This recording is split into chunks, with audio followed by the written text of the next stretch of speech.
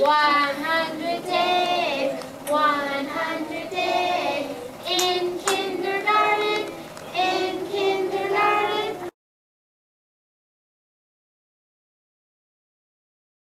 Today we are celebrating the 100th day of school in kindergarten in our whole school in Highland.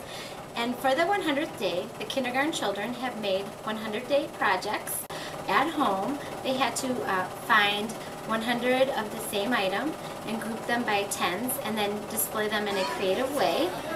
And we are going to be uh, taking our 100th day projects throughout the school for a parade in all the classrooms. We do that every year.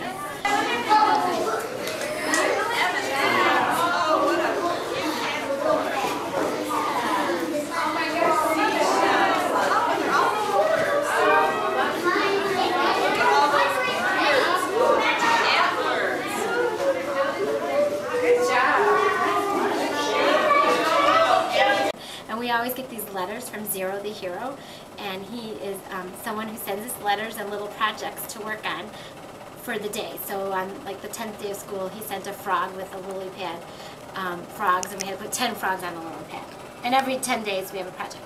So today, because it's the 100th day, he's coming to visit for the first time. He's at the door. Hi there. How you doing? What day is this? Hundred days of school. Oh my God! Holy cow! Who can count to hundred? Oh my God! Another smart bunch. I can't believe that. How you, how you doing? Good. Hear you've been practicing counting for a whole hundred days. Is that true? And you all know how to count to a hundred.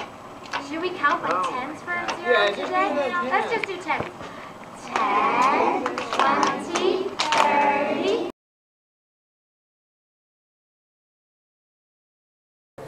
Uh, what I like about Zero the Hero is making a picture for him, and I like and I made him a big monster truck for him.